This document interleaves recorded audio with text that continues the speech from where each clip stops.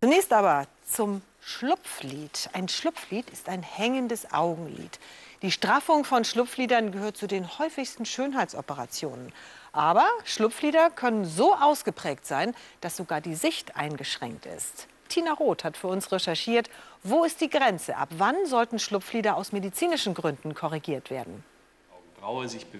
Um diese Frage zu klären, treffe ich einen Augenarzt, der sich auf solche Operationen spezialisiert hat. Guten Tag, Frau Meinecke. Seine Patientin, die 70-jährige Ilse Meinecke, hat ein Schlupflied und möchte es operieren lassen. Ich darf sie begleiten. Ist für Sie so der Schönheitsaspekt wichtig jetzt an der ganzen nein, Geschichte? Nein, nein, weil ich eigentlich wieder lesen möchte.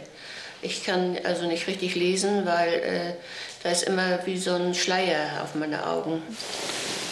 Dieser Schleier kommt vom Lidrand, der zu tief über ihrem Auge hängt. Schon vor dem Termin in der Klinik hat ein niedergelassener Augenarzt ausgeschlossen, dass die Augen selbst das Problem sind.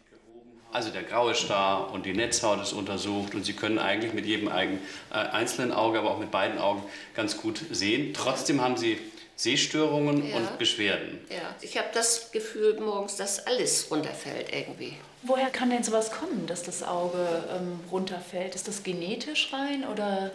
Das meiste ist doch, ähm, auch wenn man das nicht gerne hört, das meiste ist doch altersbedingt. Ähm, das sind einfach Veränderungen im Bereich des Bindegewebes und die Schwerkraft wirkt auch im Gesicht, sodass alles, was wir äh, an Haut und an Bindegewebe im äh, Gesicht haben, allmählich ein bisschen nach unten sacken. Durch die sogenannte Augenfelduntersuchung wird nun geprüft, wie stark das hängende Lid Ihre Sicht einengt. Wenn irgendwo ein Licht aufblinkt, dann drücken Sie den Knopf. Nur wenn es eine tatsächliche Einschränkung im Alltag gibt, übernimmt die Krankenkasse die Operationskosten. Mal erscheinen Lichtpunkte in der Mitte, mal unten, mal weiter oben. Frau Meinecke drückt viel zu selten. Die oberen Punkte sieht sie nicht. Gleichzeitig filmt eine Kamera ihr Auge. Es wird deutlich, ihr Lid verdeckt schon fast die Pupille. Wenn wir eindeutig eine Einschränkung sehen, dann ist es auch in der ärztlichen Hand zu sagen, das ist so. Und dann wird ein Eingriff auch von der Kasse übernommen. Aber es ist immer eine Einzelfallentscheidung. Ilse Meinekes Fall scheint eindeutig. Dr. Schaudig will nun entscheiden, wie er das Schlupflied operiert. Es gibt verschiedene Ursachen, die jeweils einen anderen Eingriff erfordern. Ursache Nummer eins: zu viel Lidhaut. Das ist das klassische Schlupflid. Wenn Sie nur einen Überschuss an, an äh, Lidhaut haben, dann kann man den entfernen und dann ist das Problem auch gelöst. Manchmal ist auch die Augenbraue verantwortlich. Wenn die runterhängt, drückt sie aufs Auge. Dann muss die Haut über der Augenbraue gestrafft werden, damit die Braue sich hebt. Wir haben aber jetzt hier ein tiefstehendes Lid. Das liegt an der Funktion dieses Muskels, der das Lid hebt. Das ist das dritte.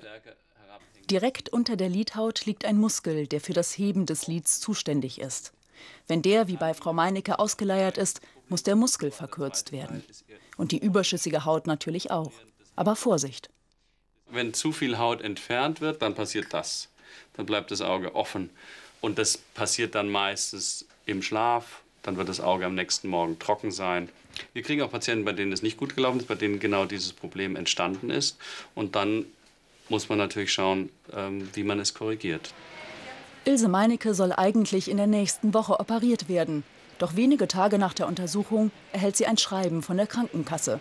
Die Operation sei nicht notwendig. So etwas kommt öfter vor. Dr. Schaudig schaut sich die Untersuchungsergebnisse noch einmal genau an. Das heißt, es gibt hier eine Einschränkung. Die Patientin berichtet auch Beschwerden. Und da muss der medizinische Dienst jetzt eigentlich mir erklären, und da genügt mir jetzt die Antwort der Krankenkasse nicht, sondern da möchte ich das Schreiben des medizinischen Dienstes, mhm. ähm, weshalb er das so sieht. Wenn sich der Arzt tatsächlich mit der Krankenkasse anlegt, klappt es in den meisten Fällen dann schließlich doch. Auch bei Ilse Meinecke. Wie lange wird das jetzt dauern, der Eingriff bei Frau Meinecke?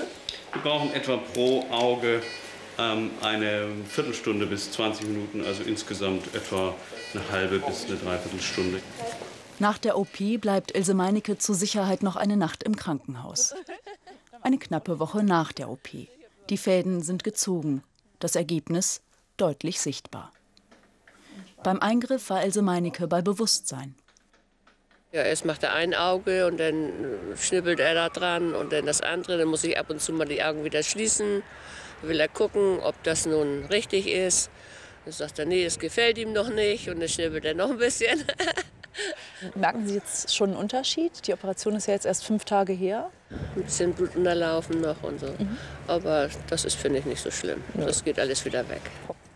Und was können Sie jetzt, ähm, Sie hatten ja so erzählt, wo, wo Sie so Probleme vorher hatten. Ja, mit dem Lesen, das geht wunderbar wieder.